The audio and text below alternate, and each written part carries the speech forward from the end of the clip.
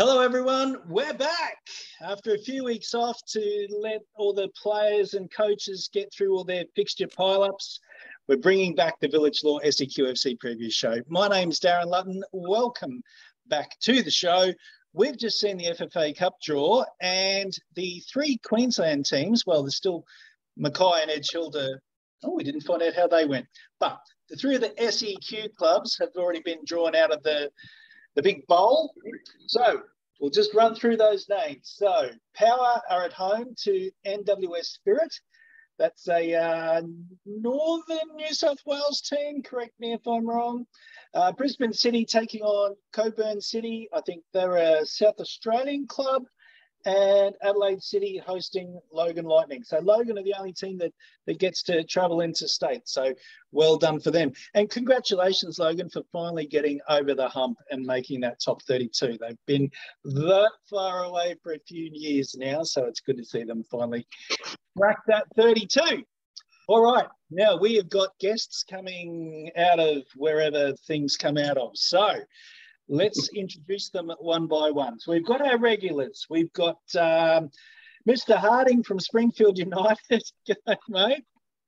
Hello, mate. How are you? Good, good. We've got Lliam Parslow. Hello. He's a regular. G'day, Lliam.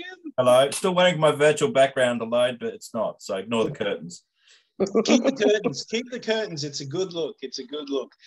Now, the coaches that we've got on on the show tonight have all taken over their teams partway during the season. So we've hopefully Rick Coglin's going to join us. He's been at Peninsula Power, obviously taking in the draw with the, the rest of the, the squad. So hopefully he'll join us during the show. But we've got three other coaches with us. We've got Belinda Kitching, who's taken over at Nerang. G'day, Belinda. Hey, how you going? Good. Now, my understanding is that, that yep. there's out of all the coaches that are there in in southeast Queensland, there are two female coaches, you and Zoe Bickerstaff, and you're both coaching men's teams. Is that right? Yeah. I found that out after Fred appointed me in the role, and I went, oh, oh, that's exciting. I didn't even realise it. Yeah, no, it's. I believe so. It's just the two of us. Yeah. Yeah. So you were at Western Pride coaching the NPLW team. What yep. attracted you to this job? How'd you take it on? Uh, I basically gave myself a rest from coaching for, you know, I've been coaching for 20 years straight since I left the Matildas sort of thing. So upon having a break, I got to see the beautiful countryside of uh, Australia all the way to WA and back from June till November last year. And it was a random post. And I just read that how the club's been struggling and I just something just tweaked inside saying, all right, the youth developing young players coming through, and I just said, yeah, that's for me. So I got on the old phone and gave Fred a call for just a chat and saying, well, what would your thoughts be? Um, would you be up for an interview uh, with me? And he goes, yeah, send us your resume through your kitchen. We'll have a chat. And I said, awesome. And that's how it came about, really. so yeah, right. And did you was it week one or week two that you got your the, the club's first win for the season on the board? Uh, the second week we, we had Broadbeach, which are top of the table, um, and at that point in time, I had eight players, uh, nine with uh, who had an injury, and the 10 and 11 both played 90 minutes in the 23s beforehand. So from Broadbeach till now, I'm up to 14 that have, you know, finally got signed on. But the win against Tally was the week after, which was surprising, but it was for what they had shown in trust in me straight away and, and, and welcoming me is it's rewarding for them, really. So, yeah. yeah fantastic. Congratulations. It's great to see you back coaching again, Belinda. Yeah. Oh, it's exciting. You know, sometimes when you say you need a break, you've got to do the break for the right reasons. And I've come back, I feel really, really fresh and I've been really welcomed by the club and by the players, and I'm enjoying every moment at the moment. Regardless of results, it's a rebuild, and that's all it's about. And their performances are, are shining through, and they're noticing that about their own selves now, which is a really good thing. So, all right. We'll talk Gold Coast Premier League shortly. Uh, yep. Oh, South Coast. South Coast have QPL four or something. Good. It's Gold Coast Premier League to me, isn't it? Anyway. We've got David Da Silva with us. G'day, David. How you doing, mate? You well? Oh, good. Now, your coaching resume is probably rivals Belinda's in length, I would suggest. and you've just taken over at Brisbane City. Yeah, that's right, mate. Yeah, it's a new challenge. Um, actually copped a few. I'd love to see how many um, jerseys you've got in the closet. So it's been a bit funny like that. um, but looking for a, a stable club with uh, visions for the future. So where were you prior? Were you you're in a, the QAS setup? Is that right? Yeah, that's right. Um, QAS. I signed with the director of football for the uh, QAS at the end of last season. Uh, so I left Moreton Bay. Um, it was a bit of a tough decision, but the right one at the moment at that time, I guess. But uh, I guess a job came up professionally in audiology at the PA hospital, which I just couldn't say no to. Um, a bit more stability with a young family, and we know the volatility of football. So um, it was the right decision, and we're just doing a few things in the background at QAS, and then Matt Smith and I had a coffee a few weeks ago, and um, yeah, things have just eventuated. So it's an exciting time for myself and for the club, I think. Yeah, fantastic. It's great to see you. Great to see you back on the sidelines. Yeah, love it, mate. I love coaching. Um, yeah, want to be with the team, mate. So that other role that you had, that was was that all office work? Oh, it was restructuring the program, mate. I think uh, QAS was an age group approach previously, and kind of shook the cage a little bit and restructured it. I think a program of that level, it should be based on the quality of the player, not the age of the player. So, a bit of a restructure and organisational change always has a consequence. Um, so, yeah, it was just the right time for me to move to a different uh, different club, and it just happened to be Brisbane City, um, where we align. Good stuff. All right. And we'll talk FQPL one shortly. We've also got Jason Hawke with us. G'day, Jason. Good evening. Now, you're the head coach of the GAP men's team, aren't you? yeah, absolutely. Absolutely. All right. Now, I've seen, um, uh, saw you guys at the beginning of the season, and I, I have to say, I, I wasn't too impressed. It, it was a bit ordinary. You must have caught a good game. Yeah. but you've got some results now, and you've taken over the side halfway through the season as well. How did yours come about?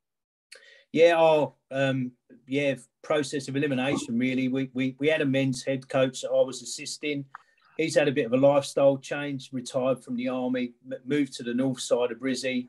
Um, he's still doing our 18s, he's still involved at the club, but just all, all got a bit too a bit too bit too heavy. Was spending more time in the car and travelling, and decided to step away from the men. And yeah, um, as I was assisting him, uh, came in for a few weeks with a view to working out what we were going to do. So fairly, it was a fairly quick decision, and yeah, been been there probably six to eight weeks now. So yeah, and like you say, picked up a couple of results. We we, we, we turned it around a little bit to from from where we were in the beginning. Um, yeah, starting to play some nice football. So I'm sure we'll have a you know a couple of steps forward and a few more steps back along the way. But yeah, we're starting to go in the right direction, and the boys are doing well, buying into it a bit. So um, yeah, hopefully from here on in, the results and the football will improve. Good stuff. All right.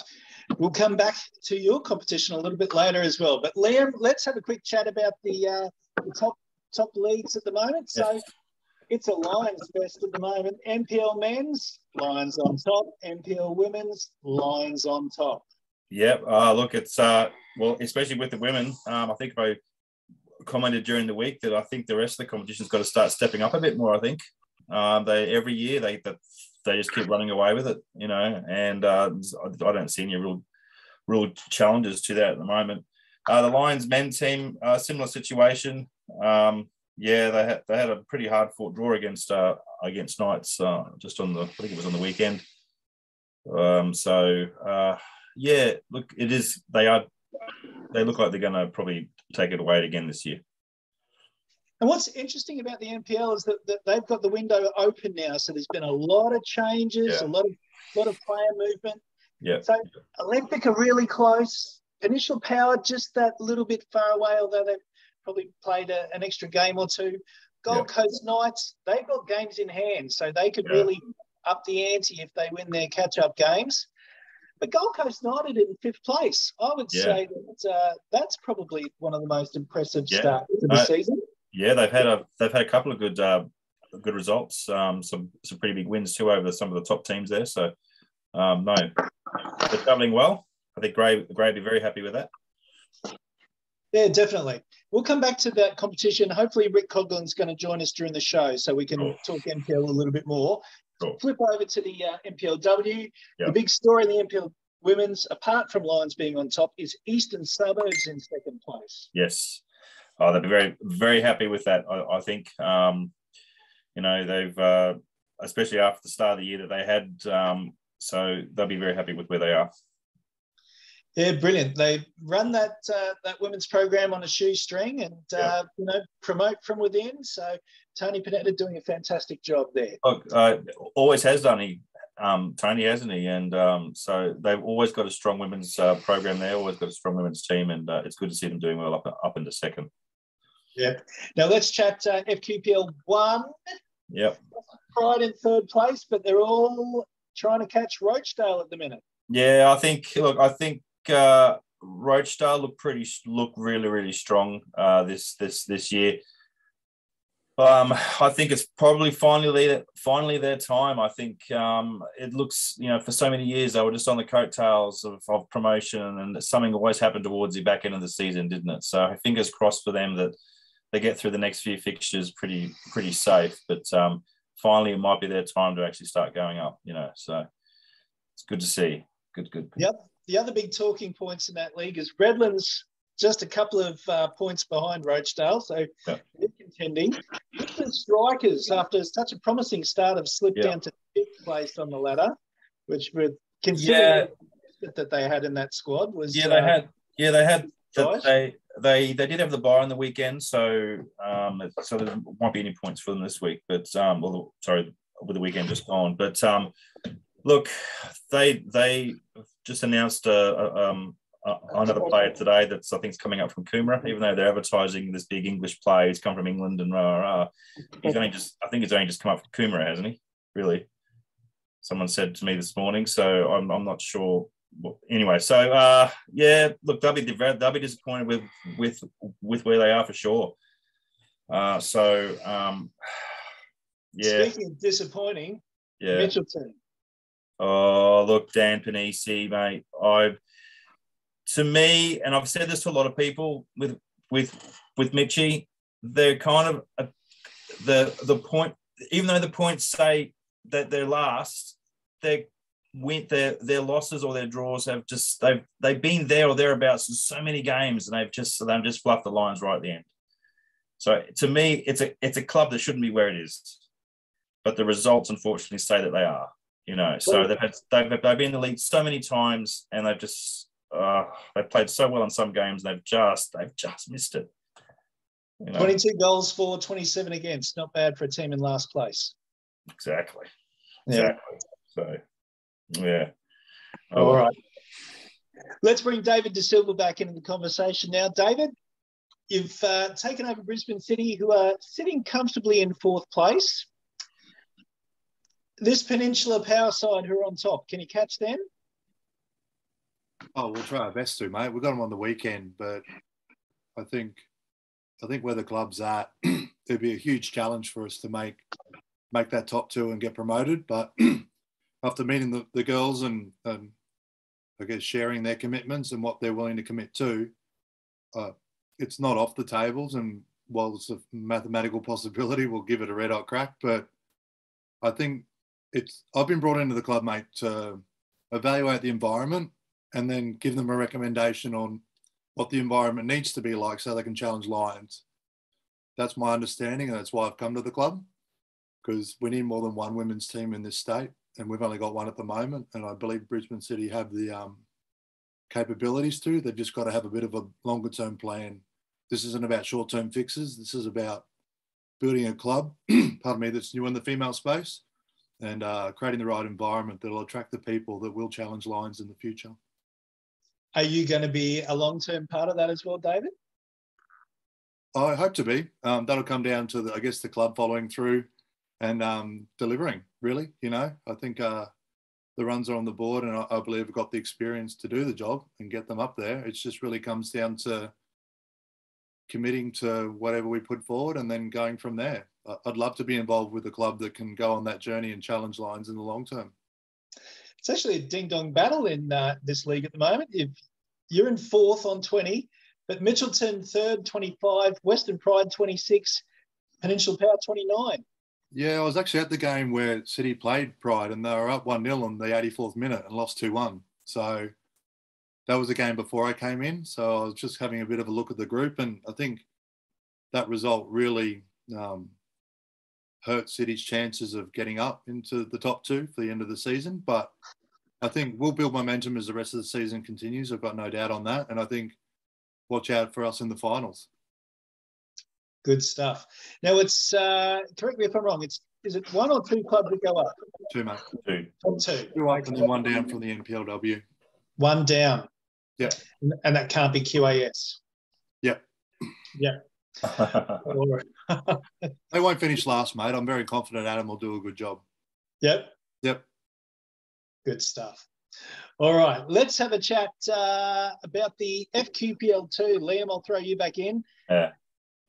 Uh, Surfers Paradise, oh, sweeping all before them, 38 points. Albany Yeah. Creek on 32 in second place. Yep. Holland Park and Samford just a little bit behind. yeah. But, um, I think that um, who was my club? I think the big surprise in this competition is Taringa in 10. Yes, I don't know what's happened there. They've just they've just plummeted, haven't they? Um, They have. I don't know. I don't, I don't know what's what's what's going on there. But you know, you know what? It it just takes a couple of signings here and there to come and go, as you know, and things can turn around. So hopefully, Taringa can certainly turn things around with a with a couple of signings there and reestablish themselves as being the club that they are. You know, Yeah. I think I think Surfers Paradise. So I think uh, I think they're I think definitely running away with it. Um, they got big bold plans to to get to the top within a couple of seasons, but we saw what but we saw what happened with with uh, with Caboolture as well. That's that's exactly what they wanted to do. And again, it just takes it just a couple of those side those player signings and things can things can really change. You know. Virginia United are the club that's in the, the playoff spot. If they Yeah, uh, maintain their place, then Well- they'll be uh, playing to remain in the uh, FQPL. Interesting. It'd be interesting to see whether Jared uh, uh, being appointed there now, uh, whether or not he can he can he, he can get him off the bottom. Now that Matt uh, Matt Proctor was it Matt Proctor that was there? Hmm. Yeah, yeah. Jared's Jared's replaced him now from Western Pride. So yeah, we'll see. We'll see whether he can get some get some results for them. And it's nice to not see Kuma on the bottom of the ladder as well. yeah, yeah. Uh, they're always there, and they're always they're always just hanging about there, aren't they? They just need a bit more fortune. Yeah, yeah. All right, let's have a quick chat about the, the Gold Coast Gold Coast Premier League. I said it again.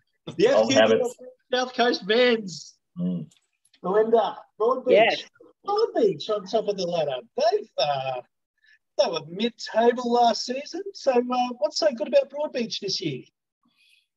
Oh, to be, I've only like that was I was only a week at the club when we played against them ourselves, sort of thing. But we just had a focus on just our defensive structure to see if they can break our lines, and it took them 60 minutes to score the second or third goal against us, sort of thing. But they just seem to have a bit of discipline back in their their players, I guess, and the coaching staff just seems to be getting the players on the right track each week.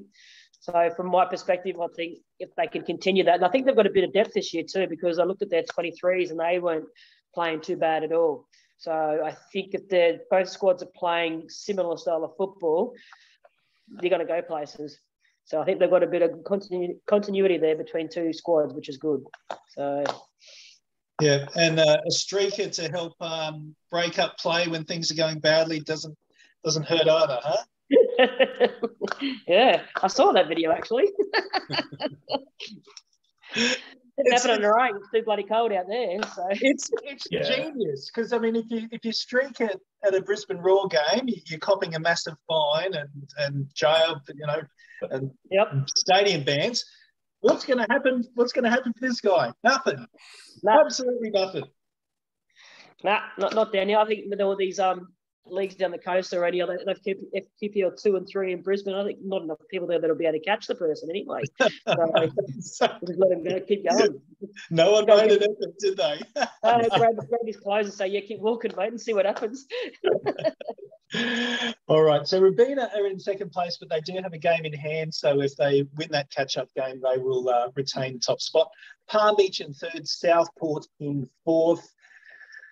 Looking at that ladder, I, I don't think there's too many surprises there, other than that, that Tallebudgera, who you beat, Belinda. I don't know. I, I mean, that was such a they're, dominant. They're falling in a heap. They're, they've really. I spoke to the coach after we beat them one 0 and he was just shaking his head. He's just like, we're, we're gone. He goes, we either do a lot of soul searching and, and just find a way to finish the year off. But he's got red card after red card. And All those players that are getting red card are just, they're just frustrated, apparently, is what he was saying. And I'm like, well, how do you fix that? Getting a red card doesn't solve things. You know what I mean? Chasing that game at, that we played against him, he was, one of the players was trying to chase my player. We're like going, what's the point? you know, like so the club's got a lot of things to fix, as do I at Nerang, you know what I mean? But we're I do believe we're nothing like what they are at the moment, you know what I mean? But we have for ourselves, we've just got to focus on what we can do each week to keep getting ourselves back to the, the good old days at Nerang, competitive yep. in the league. So and is it top one or top two? Sorry, bottom one or bottom two that go down? Bottom one, I think. I'm not quite sure. I haven't confirmed that. I'm trying not to stress that point with the players at the moment. It's my focus is I've been getting 11 each week, which I'm excited about because the players that have been brought in are not they're not ready for the season, if that makes sense. So we have an opportunity against a couple of teams. I think like the result against Musgrave 4-2 shouldn't have been. We let a goal go in. The, all the boys dropped their heads, but we still played for 90 minutes, and we should have scored three the last 15 minutes of that game and we just couldn't we put one away and we couldn't keep going so there's opportunity there if the boys can see it but we've just got a bit of a fight over the next couple of weeks to get numbers on the books basically so yeah. who have yeah. you got this weekend We've got Robina so it'll be it'll be another big challenge sort of thing so again with Palm Beach the coach was super impressed with how because he used to be at Nerang, he was super impressed with how the boys have really come to life again. Um, and I'm hoping against Robina, if our defensive effort is 90 minutes this time, not patchy, or even if it's 70 minutes, there could be an opportunity to have a, a 2 0 result against us, or not, not the blowout results, is what we're trying to just trying to force that hand back into them getting frustrated and us enjoying what it's like to hold teams out, if that makes sense. So, good yeah. stuff. Yep. All right, let's turn our attentions now to the FQPL3 Metro Men's. Jason will bring you back into the conversation here, and it's the, the Lakes that are on top of the ladder, but St. George Willawong, they've got two catch-up games, can overtake them uh, in top place. Newmarket and Pine Hills in third and fourth. You're in 11th place, Jason. Is, uh, is, is this one or top bottom. Keep saying top. Is this bottom one or bottom two that go down? Bottom two. Bo- bottom, bottom two. two. Yeah. Right. So you're one point uh, behind Western Spirit, and then there's Mount Gravatt and Centenary, who are easily catchable with a couple of wins. Yeah. Yeah. Look, I think we we nothing nothing's changed. We, we probably had a woeful game against UQ was probably the was probably the bottom, the the lowest we got, and um, you know, the I think a bit of soul searching with the guys, and you know, where where you know where do you want to go? You know, we've been at the bottom for a couple of years and haven't been able to turn it round. Had a pretty shitty pre-season. You know, probably had twelve or thirteen senior players for the first five or six weeks of the season. Um, and and we haven't really been able to get a squad together until probably the last two or three weeks. So um, no excuses from here on in, really. Um, we, you know, we, we've won a couple of games. If you'd had me on a couple of weeks ago, my opinion would have been any different. We, we were close to getting it right. And when you're down the bottom, you know, small things go against you. When you win a couple of games, those things go with you. So I'd expect us to, I'd expect us to march on from here, to be honest, and, and pick up a few more wins. And um, yeah, look, this season's kind of you know, if we could get to the middle of the table, I think that would be our aim really and stabilise and then pick, pick up another couple of bodies for next year and move forward really. Um, yeah, it's been been a diff, yeah difficult. The start was was difficult, and um, I think we had to go down to a level where we couldn't get any lower, and that was probably the UQ game. That was difficult to take, and hopefully, you know, from there we've started to move forward again and and onwards and upwards. Really, basically. And Yeah. you lost your, your most creative player in, the, in your first game of the season as well, didn't you, in the cup game? Yeah, yeah, yeah, yeah. Oh, look, we we've had a we we've had a string. and Look, everybody in football the last couple of years with COVID and stuff like that. We we've had guys that have. Um, we we've had a. I think we we worked out the other week. We lost about I think four players to ACLs over four years. Um, that were senior players, and when you've got a small senior squad, that starts to rack up. Um, lost the club captain last year. He's gone over. Liam's gone over to Samford. That that was a bit of a blow. So you know, get, getting everybody together and pre-season was going well. We lost a couple of pre-season before we even kicked a ball, and you know that was we, we never really recovered from that. But like I say, we, we we've got a squad back together now. There's no excuses from here on in. And who do you fancy, the, the Lakes or St George? Uh, St George, I think.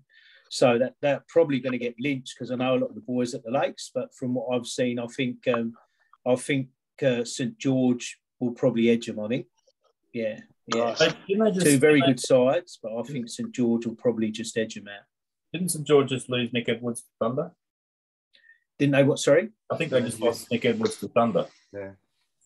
So they've so they've lost one of their ma- one of their minds one of their main men too. So it'll be They Okay. signed a striker from Capalaba as well. Cato, is it? Yeah. Yeah. Okay. So yeah, so so St George they're losing one of their uh, one of their front players there, so that could be interesting to see if they can back that up. Yeah, Cato's a pretty handy replacement though, isn't he? Yeah, Good stuff. It's great to see Cato still playing. Congratulations, mate. Have a, have a good year. All right.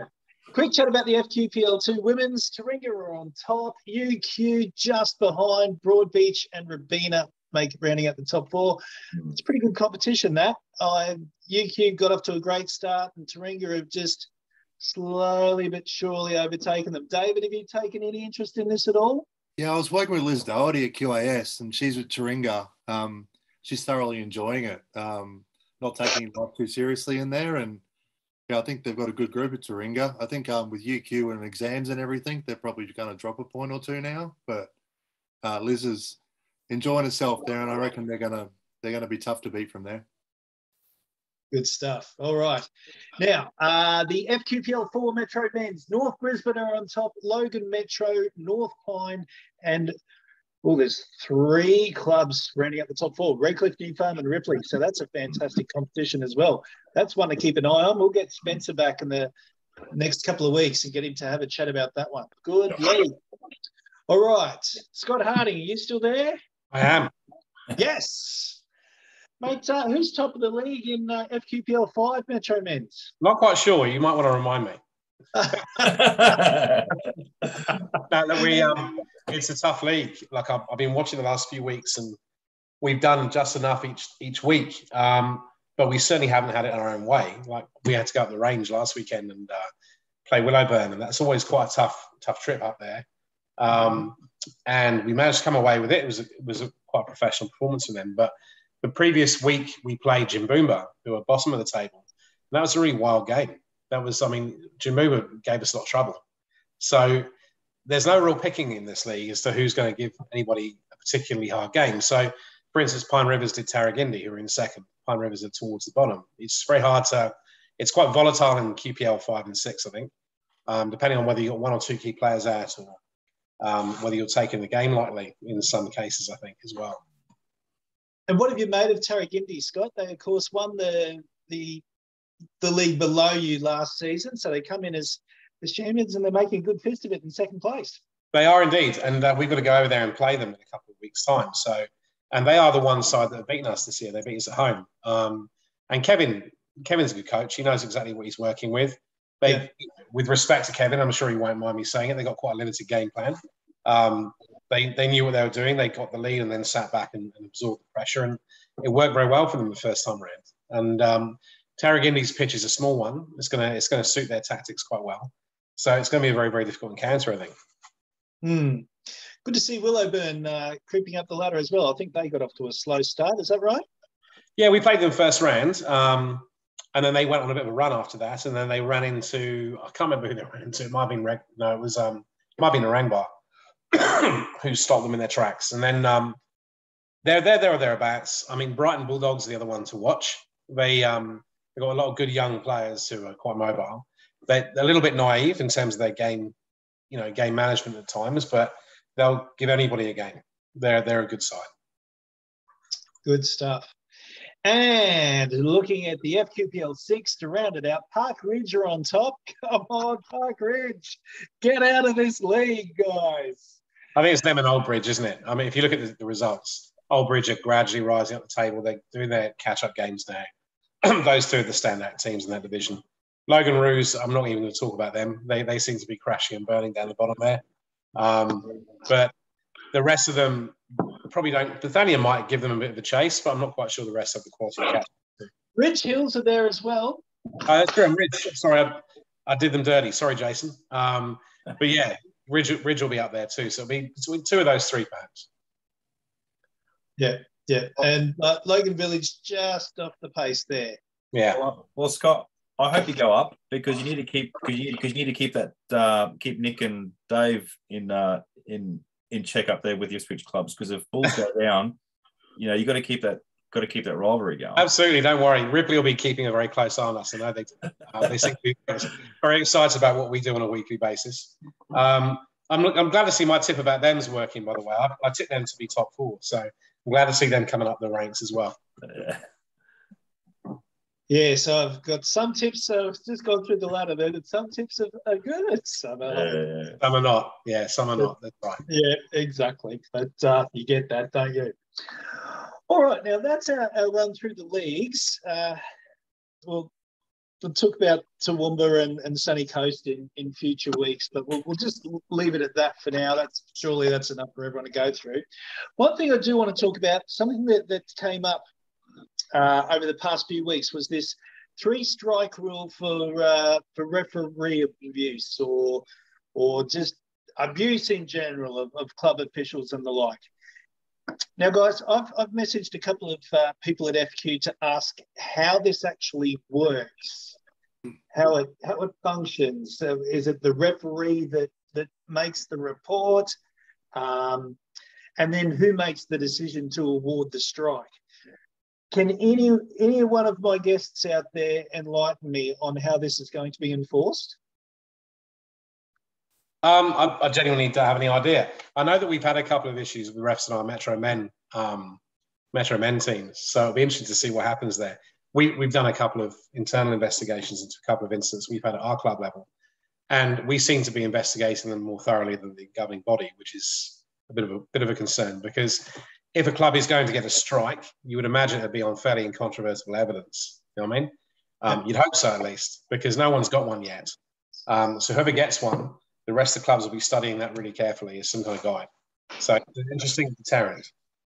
I'd like to say that I think um, the fact that there's no strikes is an outrage. Some of the behaviour that I've seen on sidelines is disgusting. Yeah. Yeah. I mean, look, I, I think it's well intentioned. I think absolutely there's got to be a crackdown from a presidential level, I completely completely support them in doing it. But you've got to make sure that the evidence that you're being presented is absolutely 100% factual. I think that's the thing. It's got to be all all different, I suppose, all different viewpoints considered. Um, and then if there's if there's hard evidence at that point, particularly if you've got video, I don't think you can really argue with it. Mm. Is, it, is it it's it's club wide, isn't it? So it's not just the it's yes, not just the junior team. So if you have yeah. if you have junior coaches or whatever the or junior you know club members that are that are rat bags. It's it's, it's the same thing because you've just had a few things over the, over the last few weeks at a, at a couple of games about uh, about a few club uh, coaches and that that have uh, that, that should be ashamed of themselves, especially in the junior ranks. Mm. So it's mm. um, I think I think a lot of the senior uh, uh, uh, men and women coaches, I think they've been in the game long enough that they can pretty much, um, uh, some, you know, sometimes you have a bit of an outburst and you're, and you're kind of embarrassed by it, you know. But I think lower at, at the lower end when you got when you got the more up and comers, I think I think that needs to be looked at more because I think there's some there's some behaviour there that I've heard of that's just not good enough. Oh, look, there's behaviour I've seen that's not good enough. Yeah, I'll be perfectly honest with you. And I mean, look, I've got a club of 1,100 people now. Do you know what I mean? Yeah. So inevitably, you're going to get the odd incident here and there um, Yeah. within your club ranks that isn't good enough, and that's where you've got to have an internal club culture that's strong and accountable. Absolutely, yeah, yeah, yeah. That's where every club has to probably look inward and and and be really aware of the fact that they they are on display. regardless of whether they like it or not, they're on display. Yeah. Belinda or Jason, do you have an opinion on this? Uh, sorry, JC, go. Yeah, sorry, yeah, not hugely. I don't. Uh, just the the nuts and bolts of how it's going to work really is is the the unclear bit to me. I think.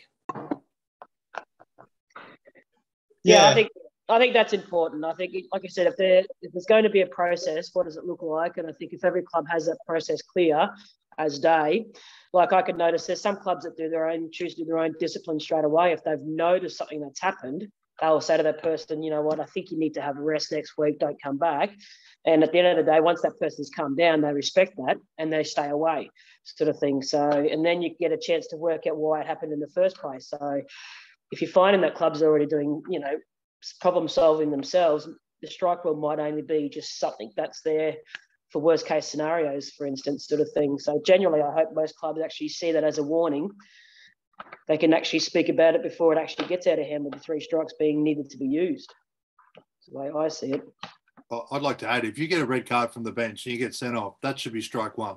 It should be just yep. that simple. It, it, doesn't need to be difficult. This you get three yep. the goes. Yep. It's true. All right. Coaches should know better, really. Belinda, I'm going to give you the final word on this show. Yep. The uh, being an ex Matilda, seeing this uh, qualific- qualification campaign for the the World Cup that we're hosting and the, the all the preparation that we're putting into it, what do you reckon? I'm pretty excited. Pretty excited. I just I just know when the day comes, I know that we're going to be ready for it, and I know that the nation's going to be ready for it. And that, that's New Zealand and Australia. I know both nations are keen for it to happen. I just look forward to it, and I just hope everybody gets behind it because it's going to be something that's going to change Australia and New Zealand for a long, long time. Um, but I'm, I'm, just can't. I'm just I'm just feeling excited about it. Basically. You think Gustavsson's the man? It's irrelevant what I think. I think at the end of the day. We've got to allow him. We've got to allow him to do the job that he knows he has to do to get him to a World Cup. And yeah. any comment that I make or anybody makes is not going to change what's going to happen in 2023. So yeah. I say tough calls have to be made, and it's got to be done somehow. But I'm not going to criticise anybody that decides to put their hand up and give it a go. So, but he, he seems to be relating to those players quite well. Can he take it to another level? That's what we'll see next year, 2023. So, to be honest, all of us were proven wrong with the with the Socceroos. Like especially like I didn't think we'd qualify. I didn't think we'd get past UAE yet. Yeah, and, and that you know was I mean? so it's so it's it's it's okay to say uh, uh the the results, uh, especially against Spain. You know, everyone's like, oh, you know, this and that, and the squad's not this and the squad's not that. But at the end of the day, once the World Cup starts, that's what matters you know. And, exactly right, and that's all you can. That's all you can have belief in. You know, yeah, Graham Arnold said they had 17 games out of the 20 out of the country. Holy crap! Do you yeah. know what I mean? Like, of course, people are going to criticise and say, "Who's this? Who's that? Yeah. What's happening here?" But I believe when the day comes, just let them see what they can do. You know what I mean? Like, I think they've got the right people in the right place, and yeah, let it go. Let it let it just be excited as a nation. I reckon. So I'm excited. I think I've, I've already put a month's leave in for July, August next year. I'm like, nah, I'm, like, I'm getting in now. It's not even my turn. I'm getting in now. yeah. What's it like? What's it like watching a Matildas game for you, Belinda? Still exciting. I still get goosebumps. So I listen to the anthem. It's still the same feeling when, when I was standing there, when I had the chance to have the jersey on myself, sort of thing. It's just you, you find yourself falling away from trying to criticize anything you can think of, but you get into the moment saying, wow, I remember those days. Oh my God, I take my hat off to these girls or, or boys that are just wanting to wear that emblem with pride. And I just, the nerves just don't stop. It is just a rush of blood, and you just look forward to seeing what the 90 minutes brings, really. So, yeah. Yep. And what was the highlight of your Matilda's career? Just the opportunity to put the shirt on. it was, I was always you know, I was thrown into a position at a young age, sort of thing, and then my name got called out as the third goalkeeper underneath the likes of Claire, uh, you know, Claire Nichols and um, Tracey Wheeler. Two of they were my idols growing up. You know what I mean? Like, I used to love just watching them make saves and just go, oh, geez, one day maybe you never know. And then when my name, I got an opportunity to be at the next camp when Tom Sermanni was the, the when he coached initially before he came back. It was awesome I just I just decided that I just flew from there. My focus changed. It was just all about what could I do to maintain this opportunity, and, and that's to me was the most rewarding thing was being recognised for what I had done, and then given the chance to continue. And then when I got a chance to wear that number one jersey, that was the best feeling in the world.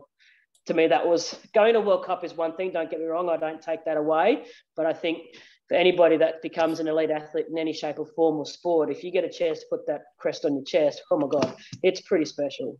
Yeah, So, and that's that's what brings back good memories for me. yeah, top stuff. Yep. All right. What a great way to end the show. so to, to all my coaches tonight, best of luck with you with your new clubs. Hope you uh, you see out the season and uh, get on that upward trajectory as uh, you seem to be on already. So uh, best Fingers of luck with it all. Fingers crossed. Yes, Yeah, thank, I'm, I'm thank, keen for the boys. thank, thank you all for coming on because uh, it, it's a it, it makes I know it makes Darren's job easy, especially when when people volunteer to come on, and it's uh, it's always good to hear everyone's opinions and thoughts. So thank you for coming on.